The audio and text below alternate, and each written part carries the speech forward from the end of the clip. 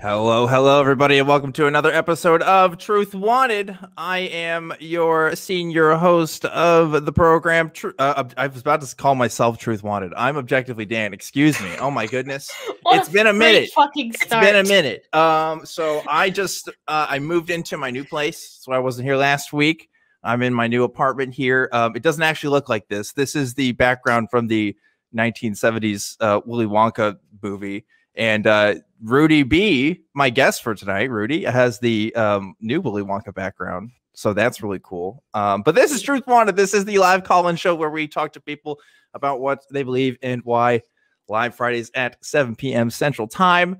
Uh, and uh, we're here to talk to you guys. There's a number on the screen down there where you should come call and talk and chat with us. It's really, really fun. Every week I have a special guest, and this week is a really cool guest, uh, Rudy Bee. Rudy, you've been on the show before, uh, a friend of mine, and uh, uh, recently uh, has been announced a new co-host of Talk Heathen, another ACA production. So congratulations, Rudy.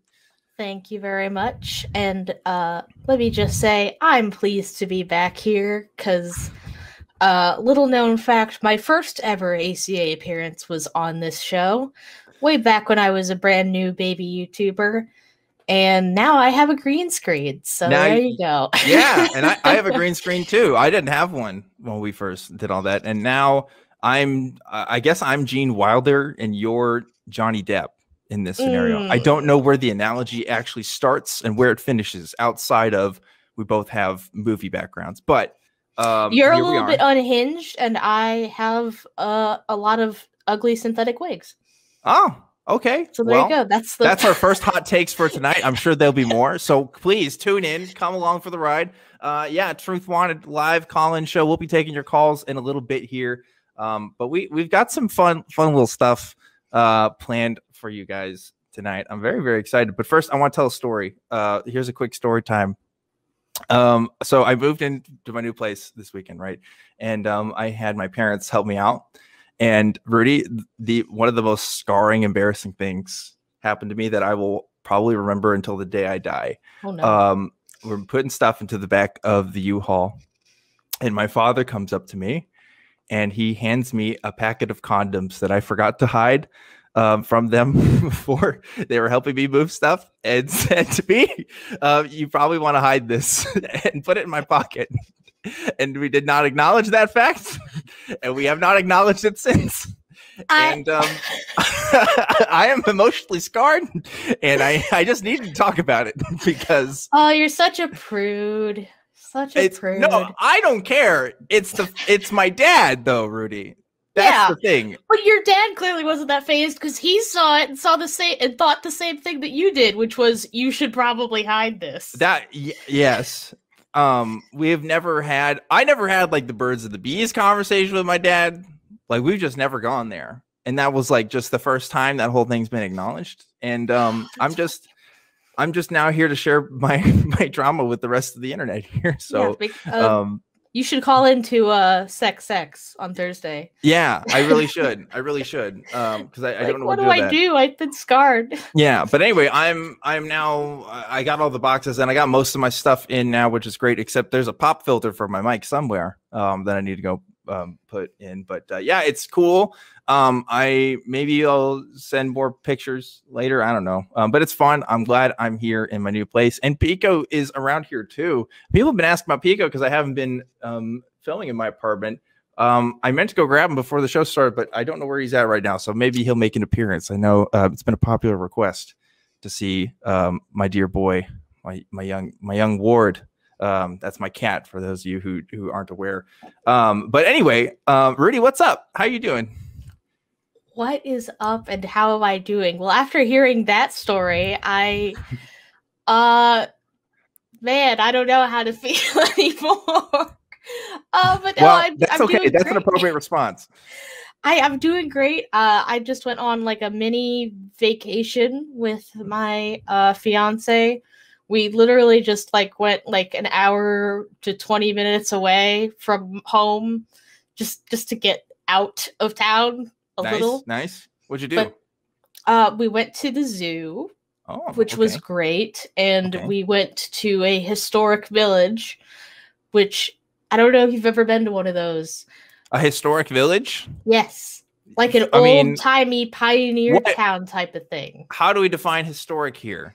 Because like history I was said old yesterday. timey. Old timey. What's old timey? What is that? so this we talk about the pilgrims? It could be. I don't even fucking remember uh, how. Okay. I, I think it was eh, 1800s. I don't know, but there was there was at least part of the part of the thing that was like set in the 1920s. We went in there, went to a pharmacy, and got some uh, ice cream, and that was pretty cool. Well, that's cool. I'm happy for you. Glad you got to go to some historic places and learn It was about honestly not that exciting, but uh, it was it was interesting. these days you you make do with what you got you know i i totally understand uh making do with what you got because we're still in a pandemic even though some people don't think that and um yeah, the amount of people not wearing masks was not super encouraging. yeah are you, you fully vaccinated now I am. yeah me too all right shout outs to everybody who's vaccinated uh out in the chat good job That means that we can go meet up and spit in each other's drinks just That- like old times. That's what that's what the CDC actually specifically said. They actually recommended that. Um, they said it builds character. Um, and I'm I, I'm looking forward to fulfilling the the obligations that the CDC has provided for us. But but Rudy, I have something special for today. We we got something a little, little cooked up, a little, little something different for today's show. And and based on um, audience reactions, we'll see what we do with this um, as an ongoing segment. Um, I want to call this thing tonight. We're calling it Dan's Meme Corner. All right, Dan's Meme Corner, um, otherwise known as DMC, Dan's Meme Corner. And so I'm, I'm going to ask the crew to run DMC right now, if you could. There we go. So those of you who are listening at home who can't see us, we have a meme currently on the screen. And we are going to examine this meme. I saw this meme on Reddit um, just today, actually. Um, I can't remember where it was, but this meme says atheist, average atheist starter pack. Um, and you, you've seen these starter pack memes before, right? It's Yeah. like classic, makes- classic. somebody somebody's trying to like stereotype uh, a group of people or, or an experience and like they, they bring a bunch of common elements and put it into like one picture well, I will uh, say this: the, the the use of the word stereotype makes it sound like it's always negative, which it isn't. There's, It there's isn't. always a negative connotation involved. yeah but- it's like like uh family vacation starter pack or something or like um first day of school starter pack or something you know it's just kind of Mhm. like capturing sort of a zeitgeist of uh, of a moment or or maybe on a fan base sometimes. And this one's talking about atheists so i want to look at it again on the screen here real quick. I, like so there's a couple things here and i want to see how we feel about this. I got to pull it up on my end too. Um and it's just talking about like um you know because like the atheist movement online has a reputation let's put it that way. Uh, Yeah. it's like it's it's changed in the public eye and also like in online communities eyes. If you identified as an atheist there was like certain things that were like attributed to that. You were like a neckbeard type. You had like a like a fedora or a trilby you know if you want to get technical. Yeah, and then like uh you know there was and and you predominantly like white dudes you know like it, it was like a whole thing. But this one's kind of like examining that in like 2021 it's kind of interesting the first one on the top left says does it make atheism a defining factor of their personality which okay yeah that's good that's I would- positive I would say that's certainly positive. I don't know if it applies to all the atheists that I know. does but it apply to us this is what i was thinking really because like we do a lot of activism yeah, we've is it a- kind of made a, a thing out of it, but is I don't it our know. If, personality I don't know if it affects my everyday life exactly. Although I will say I have become more attuned to religious things, but I also live in a small, predominantly white, predominantly Christian town, so yeah it's kind of hard not to notice well here's another one it's everywhere. Yeah, here's another one too, because it says has mates. I mean, you know, they mean friends. Has mates of a variety of different faiths, which is interesting. I'd say I have more friends now of var- varying faiths than I did as a Christian. Oh, certainly. I was Right. pretty much exclusively friends with Jehovah's Witnesses when I was a Jehovah's Witness. Yeah, yeah, Uh, I, Now I have friends that I have to, if I'm talking about one of my friends to one of my other friends, I have to stop and explain what the hell their faith is. I'm like, oh yeah, one of my friends is like a pagan, and they're like, what? I'm like, Mm. you know, like you don't know what paganism is? And they're like, no. I'm like, why doesn't everybody know what pagan means? Like, Yeah. ah, I don't have to, I don't want to explain to somebody else. And then I have to be more specific. And I'm like, well, I have this one friend who's like Celtic pagan, and then I have another one who's like Norse pagan. Right. And and it's like, no, this is this is too complicated. it's a whole thing. Yeah. And what I explained to like if if you would have told me uh like uh 10 years ago hey you're you're gonna know a bunch of people online. You're gonna be friends with like canadian moms and also like um cool pagans and um christians of every kind of sort and stripe of of, of theologies you've never even heard of.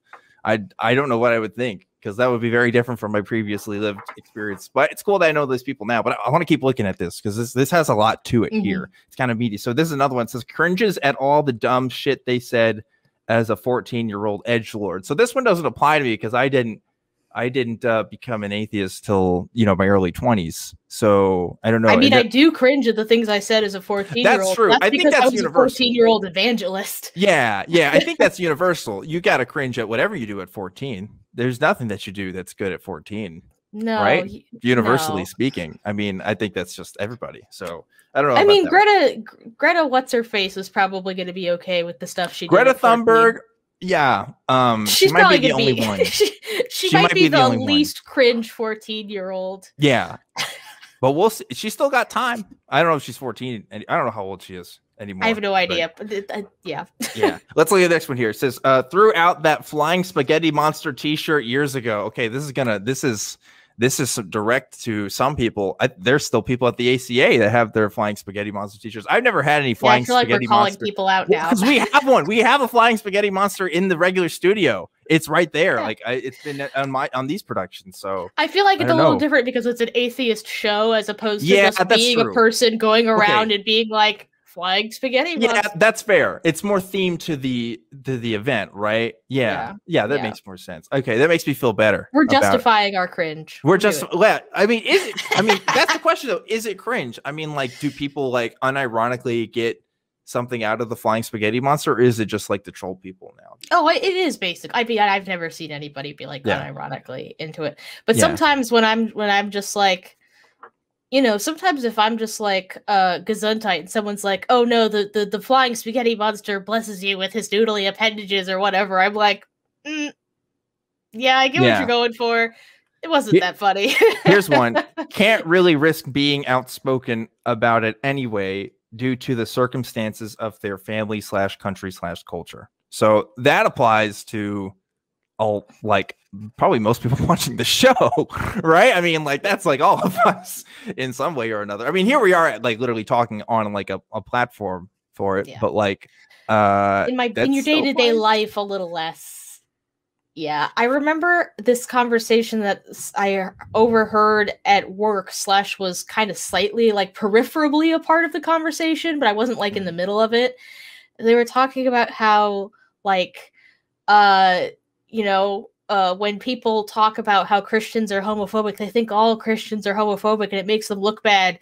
And like without missing a beat, I just turned and looked at them and was like, I was homeless at 19 because of homophobic Christians. yeah Like, I don't know what to tell you. Like, that's a real thing. If you don't want to own it, that's that's cool, I Here- guess. here's the thing, right? like, here's something I've I've come to realize is that if you can be apathetic about religious issues, you are privileged.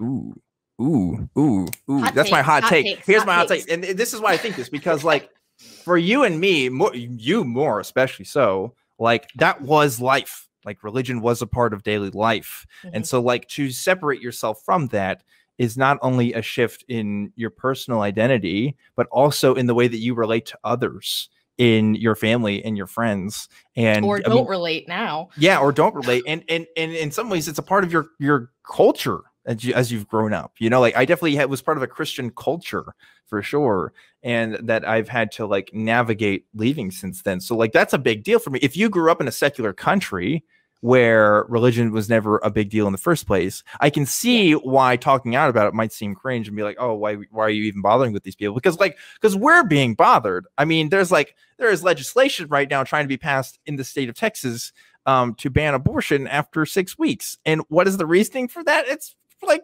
pretty much purely religious. Like there's, you know, that's affecting the lives of people here. And like I, I want to speak out and talk about that. So uh, you know, I I to, I will try to speak out when I can. Um, you know, I don't talk about it every single day. Um, but like I do talk about it a lot. I'll bring it up with friends and even coworkers sometimes if it's relevant. So I don't know yeah. if that one applies to me as much. I do kind of speak out about it. So I don't know. But we also have this giant online platform.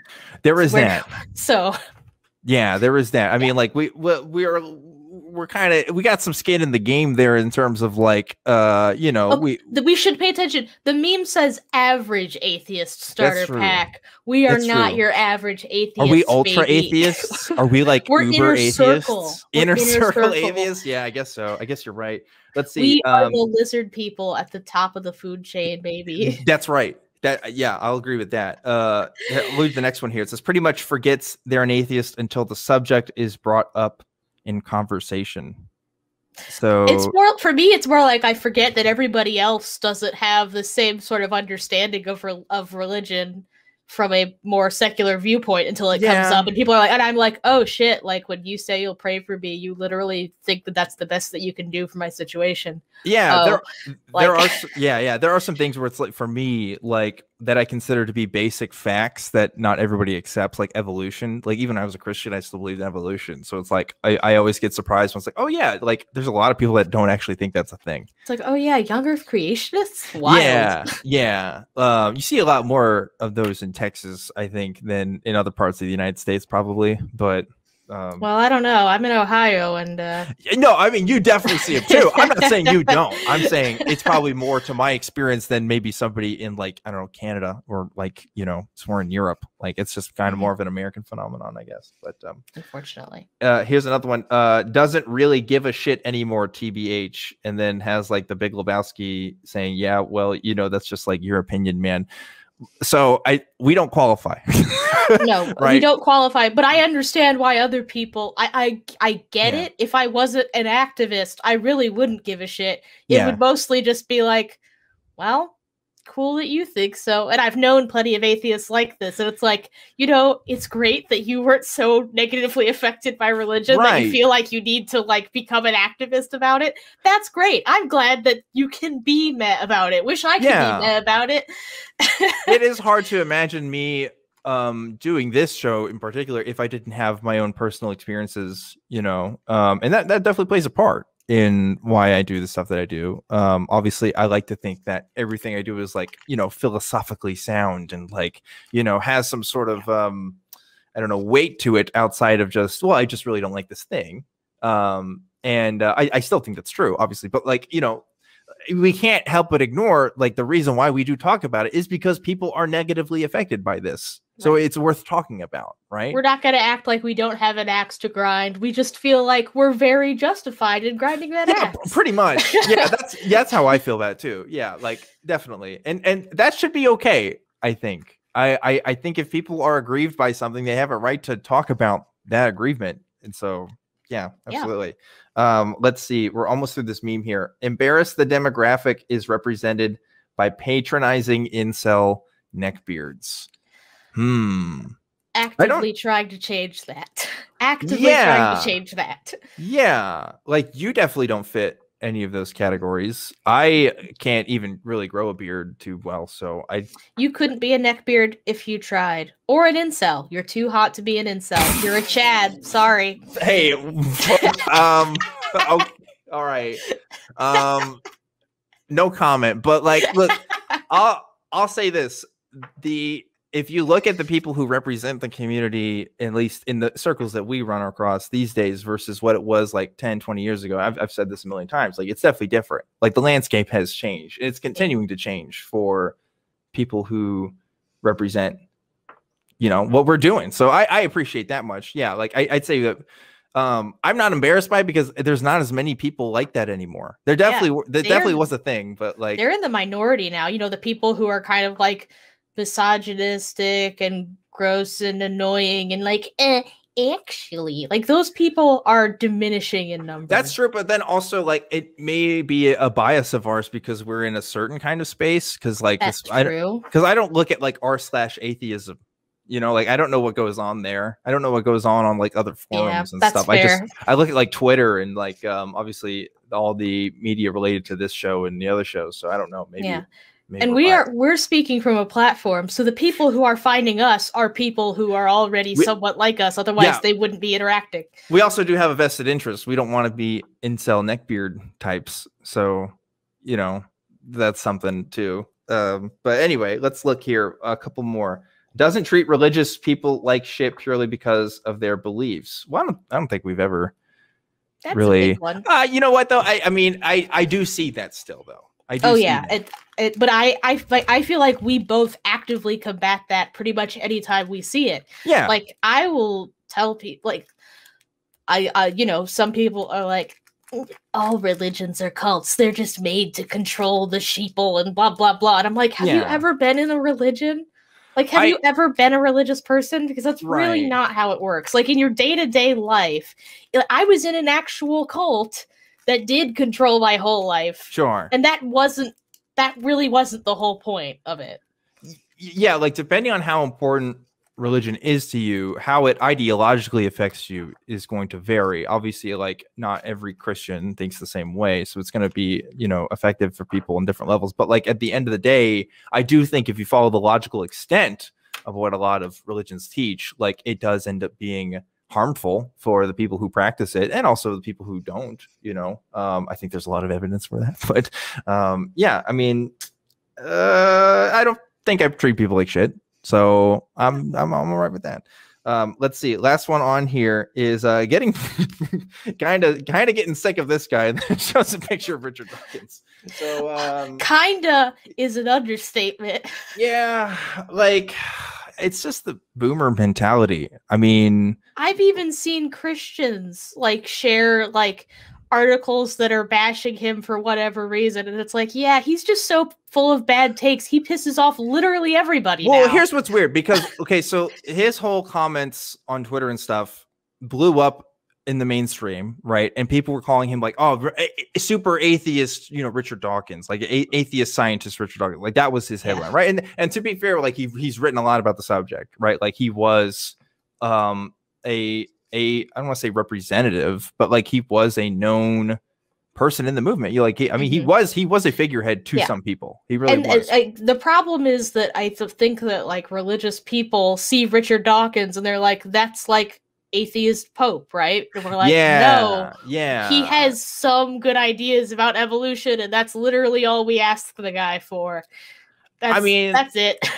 yeah, this is going to be a personal thing too, because I guess what Dawkins means to other people is going to be different. Like, like he never really meant much to me in my kind of journey, um, Yeah. because like, Same. like I said, I never, I always evolution was like that. You didn't have to convince me on that, and he talks a lot about Yeah. that. So his work on that never really, uh, but you know what, what, what I most remember him for is seeing lots of clips on YouTube and stuff of him doing the debates and like doing, um, you know, just uh, getting some one liner of him just saying some mean shit about religion or something. I don't know, but like, and, and but he is he has not been relevant to my activism really, um, in any meaningful sense. And I don't think he's Yeah. really active, uh, meaningful to most of the people that we come in contact with. So, I, I guess Yeah. that part's true. You know, like I don't- hear a lot more apologists citing him as a uh sort of as a figurehead and an authority in the in atheist circles than I do any atheists. So yeah like that's the the the the good and bad thing about doing the things that we do is because we can decide who we want to associate with but at the same time we it's harder for us to like distance ourselves with people because they see oh those people hey, he's an atheist you're an atheist you must think similar things and it's like well Mhm. we're i mean i'd like to think that we're like independently minded on a lot of separate Yeah. issues but and in in you know. exactly the same way that I had that conversation with my coworkers who are like, I I don't like that Christians have a reputation as being homophobic. It's like then do something about it.